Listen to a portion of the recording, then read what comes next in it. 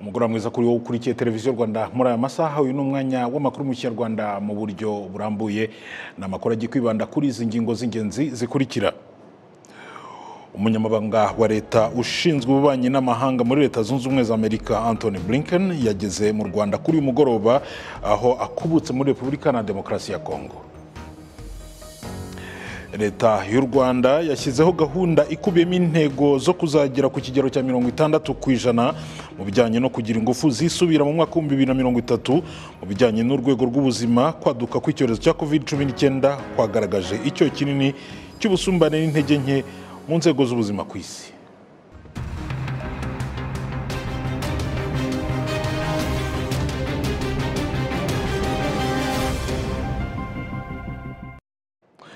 Ni amakuru mugiye kugezwaho nanjye wera jean maurice. Leta y'u rwanda yashyizeho gahunda ikubiyemo intego zo kuzagera ku kigero cya mirongo itandatu ku ijana mu bijyanye no kugira ingufu zisubira mu mwaka w'ibihumbi bibiri na mirongo itatu. Mu bijyanye n'urwego rw'ubuzima kwaduka kw'icyorezo cya covid cumi n'icyenda ngo kukaba kwaragaragaje icyo kinini cy'ubusumbane n'intege nke mu nzego z'ubuzima ku isi. Kwibanda ku kubaka ubudahangarwa n'inzego z'ubuzima kugira ngo ibihugu byacu bishobore gukumira kumenya ndetse no gutanga ibisubizo ndetse no kwivana mu bihe by'amage bikaba ngo ari ingenzi. Ni muri uru rwego u rwanda muri uyu mwaka rwatangiye gahunda yo kubaka uruganda rw'inkingo muri kigali ku bufatanye n'uruganda rwa biontech. Ni igikorwa iki gikorwa kikaba ari umusingi ukomeye mu kubaka urwego rw'ubuzima mu gukumira n'indwara bitari mu rwanda gusa ahubwo no ku mugabane wose wa afurika leta y'u rwanda yashyizeho gahunda ikubiyemo intego zo kuzagera ku kigero cya mirongo itandatu ku ijana mu bijyanye no kugira ingufu zisubira mu mwaka wa makumyabiri mirongo itatu. Mu bijyanye n'urwego rw'ubuzima kwaduka kw'icyorezo cya covid cumi n'icyenda kwagaragaje icyuho kinini cy'ubusumbane n'intege nke mu nzego z'ubuzima ku isi. Kwibanda ku kubaka ubudahangarwa bw'inzego z'ubuzima kugira ngo ibihugu byacu bishobore gukumira kumenya gutanga ibisubizo no kwivana mu bihe by'amage ni ingenzi.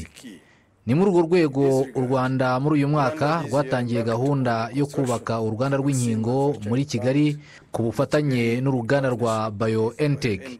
Iki gikorwa ni umusingi ukomeye mu kubaka urwego rw'ubuzima mu gukumira indwara bitari mu rwanda gusa ahubwo no ku mugabane wose wa afurika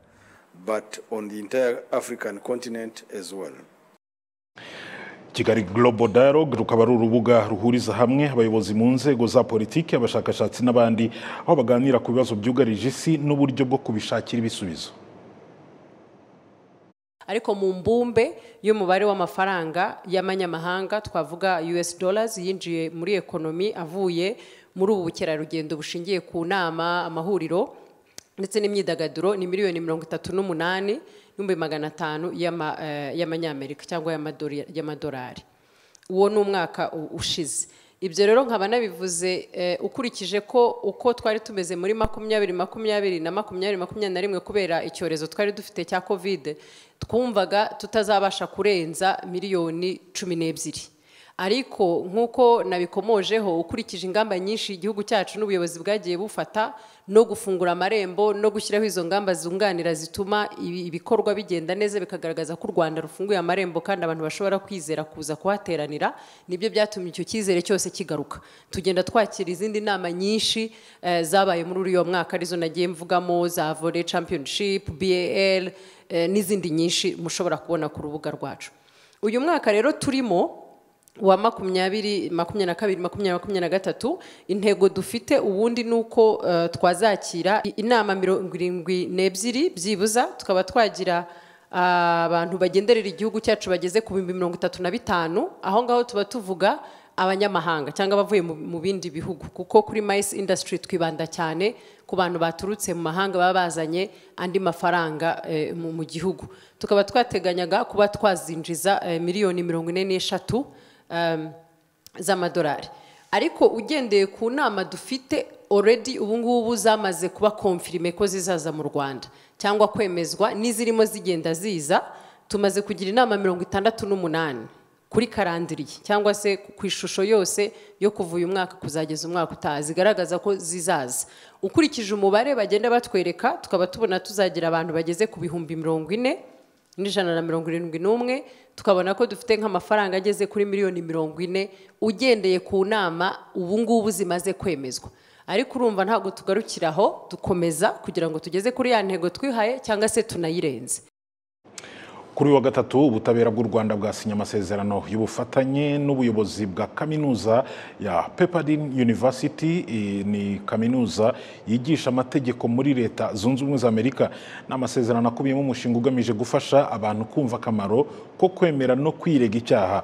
Umuyobozi w'uyu mushinga mu rwanda akaba avuga ko mu gihe cy'imyaka itanu uyu mushinga ugiye kwibanda cyane ku kongera ubumenyi eh, n'inzego zitandukanye ziri mu runana rw'ubutabera mu rwego rwo gushishikariza abantu kwirinda ibyaha habaho n'amakosa abayakoze bakamenya neza agaciro ko kwemera no kwirega ibyaha mu rwego rwo kwirinda ibihano bikabije bityo bikaba byabagiraho ingaruka nziza kandi bigafasha ubutabera. Iyo wemeye icyaha uba worohereje inzego z'ubutabera eh, zigatuma zidatakaza umwanya munini eh, amikoro menshi eh, ndetse zishyiraho n'abakozi benshi zishakisha ibimenyetso eh, kandi ibimenyetso babitanze. Icyo gihe umucamanza ashobora kubona yuko watangiye kugororoka akaba yabiheraho bikaba byatuma kugabanyiriza igihano. Eh, ntabwo ari itegeko ariko. Porosedire rero ya puri bageningi na yo irimo agace kamwe ko kwemera icyaha. Ariko itandukaniro rihari ni uko eh, ukorana amasezerano n'ubushinjacyaha. Uwakoze icyaha eh, ubu turateganya yuko abifashijwemo n'umuavoka kugira ngo amusobanurire ingaruka z'amasezerano agiye gukora. Ashobora gukorana amasezerano n'ubushinjacyaha bakumvikana ko hari icyaha yakoze bakaba bakumvikana ko eh, igihano cyose yari guhabwa wenda yahabwa igice cyangwa ntagihabwe cyangwa akaba hakigira ibindi yishyura uwakorewe icyaha noneho aya masezerano akemezwa n'urukiko. Ahubwo aho twigeze kugira eh, procedure ya plea bargaining ni mu manza zerekeranye na jenoside eh, mu itegeko ryo mirongo icyenda na gatandatu. Iyo procedure yakoreshejwe ndetse iranakomeza no mu manza za gacaca eh, itanga umusaruro yatanze ariko ku kigero twavuga yuko cyari hasi y'ikigero cyari cyitezwe. Ni na yo mpamvu ngubu hashaka gushyirwamo imbaraga kugira ngo abantu basobanukirwe bumve akamaro kayo banayishyigikire noneho itange umusaruro ushimishije eh, ibe yafasha n'umuryango nyarwanda. Icy'ingenzi eh, ni uko umuntu wakoze icyaha akaba yemera ko yakoze icyaha. Agomba kugira uruhare mu kubaka umuryango nyarwanda mu gukosora ya makosa yakoze. Afasha cyangwa yumvikana eh, n'inzego zishinzwe gukurikirana icyaha ariko aniyegereza uwakorewe icyaha kugira ngo agaragaze ko afite umutima koko wo kwicuza kandi ko atazasubira cya cyaha. Ni procedure uyu mushinga ugiye kumara imyaka itanu ukazakorera mu nkiko zisumbuye eshanu eh, muri gasabo nyarugenge muhanga musanze ndetse n'urukiko rwisumbuye rwa gicumbi. Impuguke zemeza ko kubara inkuru z'ibyababayeho ndetse no kuganira bakidagadura ku bafite ibibazo by'ubuzima bwo mu mutwe ari ubuvuzi bukomeye. Ishami ry'umuryango w'abibumbye ryita ku buzima oms ryo rikaba ritangaza ko ku isi eh, isi itakaza miliyari igihumbi z'amadolari y'amerika buri mwaka agenewe ku kwita ku bafite ibibazo by'ubuzima bwo mu mutwe. Harimo abagera kuri miliyari imwe bafite agahinda gakabije. Bosco kwizera arakomeza. Wikwirirwa mu nzu wibaza ukuntu bya bindi bya kera akaba ari byo bikugarukaho. Marita mukagihana na melania mukarutabana ni ababyeyi bagize ibibazo by'ihungabana bakomora kuri jenoside yakorewe abatutsi. Bavuga ko guhura na bagenzi babo bahuje ibibazo ari umuti ubarinda kwigunga kuko baganira bagaseka ndetse bakanahozanya.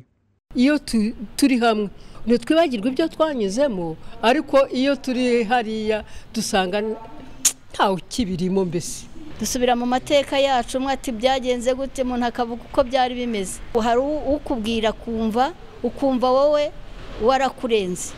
Noneho twabihuriza hamwe tukumva byose ni rusange umuntu agahoza undi. Tukumva turanaruhutse mu mutima tukamanuka tugataha. Impuguke mu bijyanye n'ubuvuzi bw'indwara zo mu mutwe zaturutse mu bihugu mirongo itatu byo ku migabane itandukanye bari mu nama y'icyumweru kimwe igamije kuganira ku buvuzi bw'indwara zo mu mutwe bukoresha kubara inkuru. Impamvu bahisemo kuyikorera mu rwanda ngo ni uko abanyarwanda banyuze mu bihe bikomeye bya jenoside yakorewe abatutsi ku buryo yasize ihungabana no kwiheba ku bayirokotse. Nyamara ntibaheranwe n'agahinda. Uwamariya margarita avuga ko iyo bahuriye hamwe bakanakora imirimo nk'iyo kuboha no gukora imitako yo mu masaro ibinjiza amafaranga birushaho kubunganira ntibongere kwigunga. Bigabanya ihungabana ryacu tuhugira muri ibi tukabibonaho n'amafaranga akadutunga. Yego. Biradufasha kuko turaganira tukarangara ntawongera gutekereza ku byo kwiheba. Ubushakashatsi bwakozwe na minisiteri y'ubuzima muri bibiri cumi n'umunani bukorewe ku barokotse jenoside yakorewe abatutsi bari hagati y'imyaka makumyabiri n'ine na mirongo itandatu n'itanu icyo gihe bwagaragaje ko mirongo itatu na gatanu ku ijana byabo bafite agahinda gakabije. Makumyabiri n'umunani ku ijana bakagira ihungabana naho makumyabiri na karindwi ku ijana bo bakaba bafite guhangayika gukabije. Ikibuye kindi ku mutima. Impuguke muri ubu buvuzi bw'indwara zo mu mutwe akaba n'umwari muri kaminuza y'u rwanda porofeseri vincent sezibera avuga ko hari ibimenyetso buri wese yakwitaho akaba yafasha ugize ikibazo cyo kurwara aho kumwirengagiza bikarangira ageze ku rwego rukomeye rurimo no kwiyambura ubuzima. Kubona umuntu yataye icyerekezo atashobora kwiyitaho ata imyenda uwo ari wese wahera kubona ko afite ikibazo. Ngo ndahinga ndahingira iki ndakora ndakorera iki? Izo mvugo zo kwiheba no gutakaza icyizere uwo ari we wese ashobora kubyumva. Igitangaje kirimo ni uko hari ubwo tutabyitaho tukaza kubibona umuntu yamaze kugera kure yigiriye nabi tugatungurwa umuntu yiyambuye ubuzima ariko hari imvugo yagiye akoresha mbere tugakomeza kutabyitaho ku mpamvu zitandukanye. Oms igaragaza ko abasaga miliyari bafite ibibazo by'agahinda gakabije no kwiheba mirongo irindwi ku ijana byabo nta bufasha babona. Mu bihugu byateye imbere abantu barindwi ku icumi nibo bafashwa naho mu bihugu bikiri mu nzira y'amajyambere hafashwa cumi na babiri ku ijana bahabwa ubuvuzi. Kwizera bosco mu mujyi wa kigali.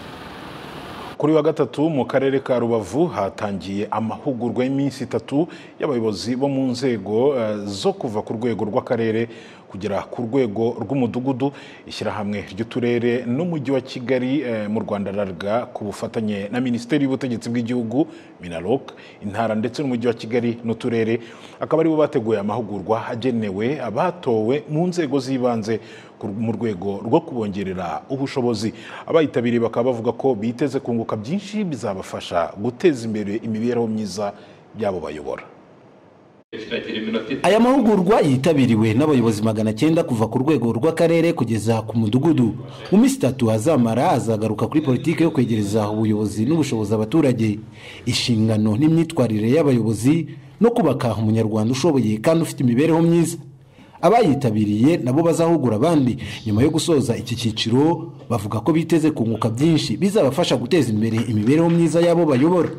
Ingorane zari zirimo ni uko inzego zatowe umuturage atorwa yari asanzwe afite izindi nshingano zitajyanye n'imiyoborere bityo ugasanga wenda ubumenyi yari afite budahagije cyangwa se bugomba kongerwa kugira ngo abashe kujya kuyobora neza. Icyo twitezeho aya mahugurwa ni ugukomeza kutwongerera ubushobozi dufatanya n'umuturage kumushyira ku isonga hagamijwe imibereho myiza ya bose. Kandi tukamenya n'indangagaciro zikwiye kuranga umuyobozi hanyuma nkumva turi bubonemo n'ibijyanye n'uko umuyobozi yafasha abaturage. Ishyirahamwe ry'uturere n'umujyi wa kigali mu rwanda. Ku bufatanye na minisiteri y'ubutegetsi bw'igihugu intara umujyi wa kigali n'uturere nibo bateguye aya mahugurwa agenewe abayobozi bashya bo mu nzego z'ibanze. Ubwo aya mahugurwa yatangizwaga bamwe mu bayatangije bagaragaje ko agamije kwimakaza politike na gahunda za leta zitanga umusaruro. Aho umuyobozi yumva ko akorera mu nyungu z'umuturage ariko n'umuturage akaba umufatanyabikorwa aho kuba umugenerwabikorwa gusa nk'uko byagarutsweho na tito rutaremara inararibonye muri politiki y'u rwanda na bwana ngendahimana radisilas umunyamabanga mukuru wa rariga. Umuyobozi rero icya mbere akwiye kugira mu mutwe ni uko abereyeho umuturage. Umuturage ni we shingiro. Umuturage atariho ntabwo uwo muyobozi yabaho. U rwanda ni urw'abanyarwanda abaturage bagomba kumva ko u rwanda ari urwabo iterambere ni iry'abanyarwanda nta n'umwe uzaribazanira batarigizemo uruhare. Mbere na mbere ni uruhare rw'abaturage mu bikorwa kurusha uko abaturage bategereza ko imuhana bagahora bategereje ko hari abazabakorera ibibareba. Muri iyi minsi itatu aba bayobozi kandi bazanasobanukirwa n'uburyo bwo gukora ubukangurambaga neza hagamijwe kunoza imitangire ya serivisi kurwanya igwingira mu bana bato no kunoza imikorere n'imikoranire mu nzego z'ibanze. Nyuma yo guhugura aba bazahugura abandi hazakurikiraho amahugurwa y'abayobozi batowe mu nzego z'ibanze kuva ku rwego rw'umurenge kugeza ku rwego rw'umudugudu. Hakazahugurwa abarenga ibihumbi umunani magana cyenda batowe ku rwego rw'umurenge ibihumbi mirongo itatu na birindwi ku rwego rw'akagari n'abasaga ibihumbi mirongo irindwi na bine magana atanu batowe ku rwego rw'umudugudu. Didasi niyibizi televiziyo rwanda. Inteko rusange ya sena kuri wa gatatu yemeje ishingiro ry'umushinga w'itegeko ngenga rigenga itora ry'abadepite b'u rwanda mu nteko ishinga amategeko y'umuryango wa afurika y'uburasirazuba eyara abasenateri bawutanzeho ibitekerezo bikaba bizafasha komisiyo igiye kuwusuzuma kuzawutegura neza. Jean paul manira harakomeza ryemejwe n'abasenateri cumi n'umunani uyu mushinga w'itegeko ngenga uteganya ko abadepite bazahagarara u rwanda mu nteko ishinga amategeko y'umuryango wa afurika y'uburasirazuba eyara bazajya batangwa n'imitwe ya politiki yemewe mu rwanda no mu byiciro byihariye by'urubyiruko abagore n'abafite ubumuga. Inteko rusange ya sena yashatse kumenya impamvu uyu mushinga w'itegeko utemera abakandida bigenga mu matora y'abadepite bazahagarara u rwanda mu nteko ishinga amategeko y'umuryango wa afurika y'uburasirazuba. Iyo urebye ibindi byiciro by'amatora kuva ku matora ya perezida wa repubulika amatora y'abadepite muri sena naho nagiye. Nubwo wagenda n'ahandi hose mu byiciro byinshi by'amatora hari icyiciro cy'abakandida bigenga kijya kibaho cy'umukandida udakomoka mu mutwe wa politiki cyangwa se utabarizwa muri ibi byiciro muri izi kategori zindi eshatu. Tukibaza rero niba iri tegeko ritari exclusive cyane ese filozofi politike behind ni iyihe? Ntabwo muze ngo mugende mujye guhindura ibi bintu uko tubivuze ariko nagira ngo tumenye ngo filozofi iri politike behind ni iyihe? Mbona ari itegeko riri exclusive cyangwa se riri riri selective riri selective cyane ku buryo nibaza ko hari nk'ikindi cyiciro cy'abakandida bigenga bashaka nabo kwiyamamariza iyi myanya ariko bagakumirwa n'uko batari muri biriya byiciro bine bivugwa muri iri tegeko. Minisitiri w'ubutegetsi bw'igihugu gatabazi jean marie vianney wari uhagarariye guverinoma yateguye umushinga w'itegeko avuga ko kwemerera abantu ku giti cyabo kwitangaho abakandida muri aya matora byazatekerezwa ubundi kuko muri iki gihe bisa n'ibyagorana.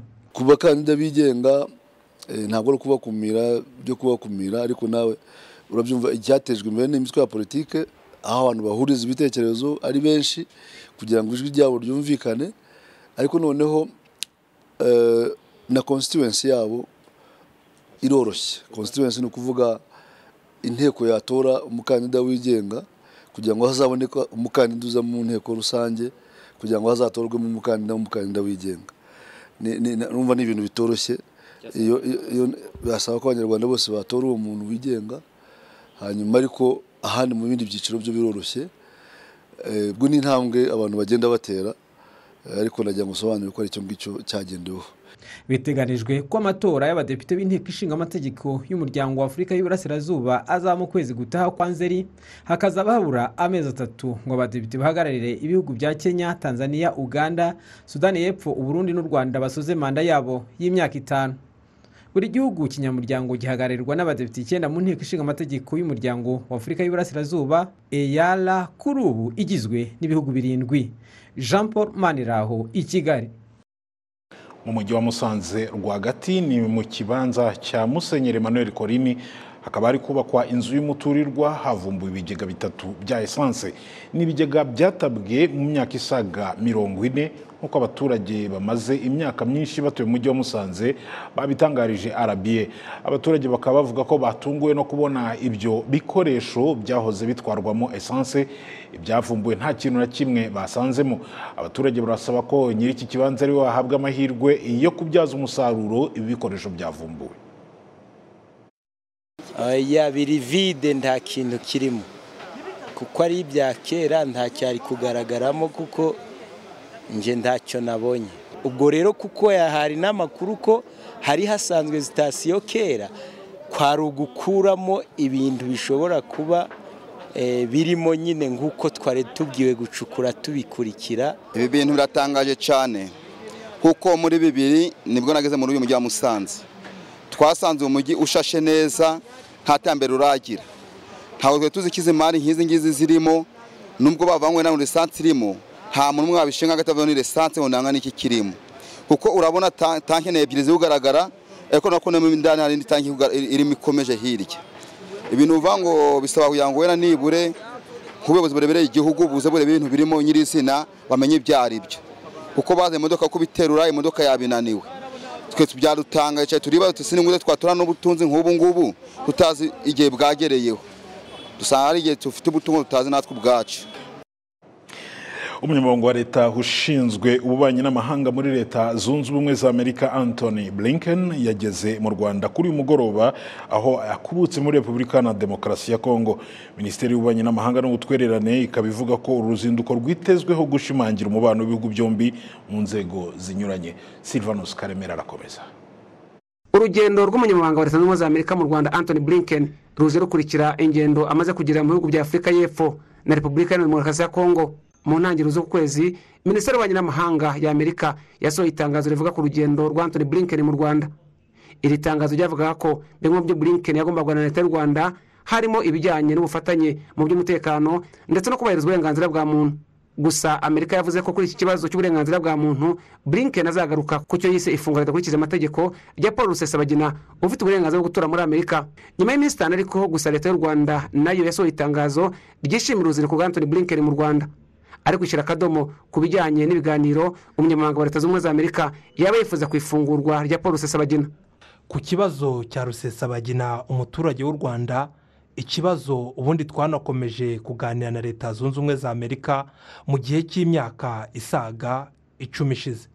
U rwanda rwishimiye umwanya mwiza rubonye wo kongera gusobanura neza ko gufata no gucira urubanza paul rusesabagina ku byaha bikomeye yahamijwe hamwe na bagenzi be makumyabiri byakurikije amategeko y'u rwanda ndetse na mpuzamahanga. Abaturage barokotse ibitero by'umutwe w'iterabwoba frn wari uyobowe na paul rusesabagina mu murenge wa nyabimata bakimara kumva iyi nkuru barayamaganye bashingiye ku babo baguye mu bitero by'uyu mutwe. Igitero cyabaye muri uyu murenge wa nyabimata cyatugizeho ingaruka zikomeye Eh, cyaraduhungabanyije cyane kuba rero hari umuntu wavuga ngo umuntu waba warafashwe muri icyo gitero ari we wakigabye yarekurwa ntabwo byaba bidushimishije cyane. Nta bintu biri aho byo kuvuga ngo bagume bantoneke kuko ubu barimo baradutoneka cyane bikomeye.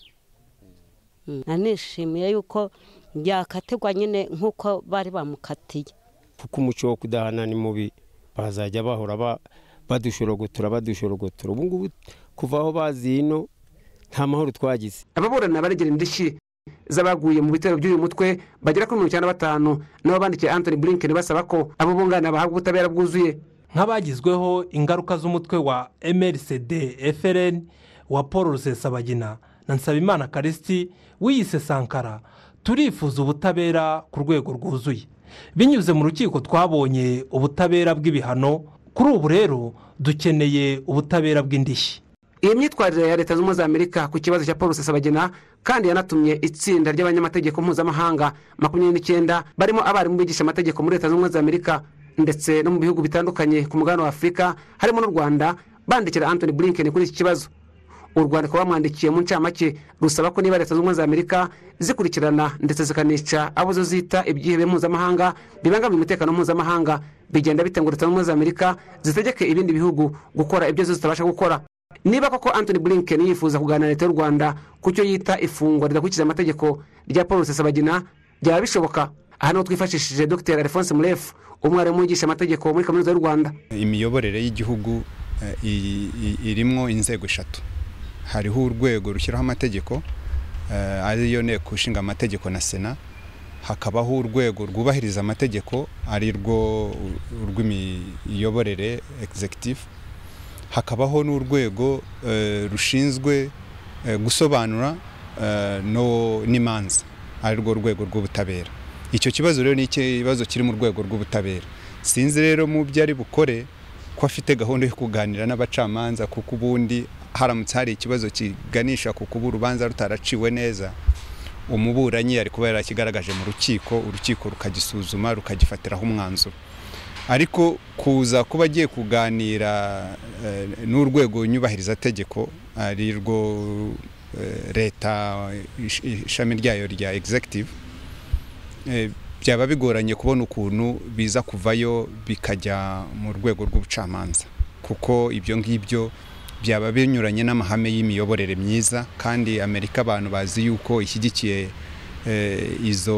izo ndangagaciro z'imiyoborere myiza. Anthony Blinken aje mu Rwanda akubutse muri Afurika y'Epfo ndetse no muri Repubulika Iharanira Demokarasi ya Kongo ubusanzwe leta zunze ubumwe za Amerika zifatanya n'u Rwanda mu nzego zitandukanye zirimo umutekano imiyoborere myiza uburenganzira bwa muntu n'ibindi. Silvanus Karemera i Kigali.